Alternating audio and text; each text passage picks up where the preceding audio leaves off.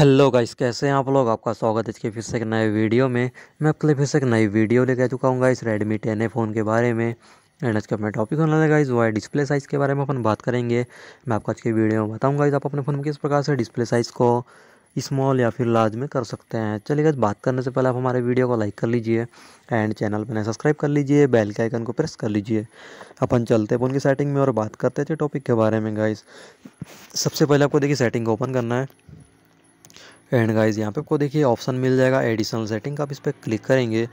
And यहाँ पे आपको देखिए ऑप्शन मिल जाएगा एक्सेबिलिटी का आप इस पर भी क्लिक करेंगे। उसके बाद यहाँ पे आपको देखिए वर्जन में चले जाना, फिर आपको यहाँ पे देखिए डिस्प्ले साइज़ का ऑप्शन मिलेगा। अब इस पर क्लिक करेंगे गाइज़ यहाँ पे आपको देखिए काफ़ी सारे ऑप्शन मिलेंगे डिस्प्ले साइज़ में। आइकॉन्स का एंड आपके ऐप नेम का एंड आपके जो सेटिंग्स के जो टेक्स्ट है, आप उसकी भी एडजस्ट कर सकते हैं डिस्प्ले साइज़ में। देखिएगा कुछ इस प्रकार से। आप अपने फ़ोन में डिस्प्ले साइज़ को एडजस्ट कर सकते हैं, फिर आपको यहाँ पे ओके कर देना है। राइट के ऑप्शन पे तो आपके फ़ोन में देखिएगा डिस्प्ले साइज़ एडजस्ट हो चुका है। तो गाइज़ इस प्रकार से आप अपने फ़ोन में डिस्प्ले साइज़ को एडजस्ट करके अपने डिवाइस में यूज़ कर सकते हैं गाइज़ एंड सेटिंग अच्छी लगी तो वीडियो को लाइक कर लीजिए। मैं मिलता हूँ आपसे नेक्स्ट वीडियो में नए टॉपिक साथ, तब तक बाय बाय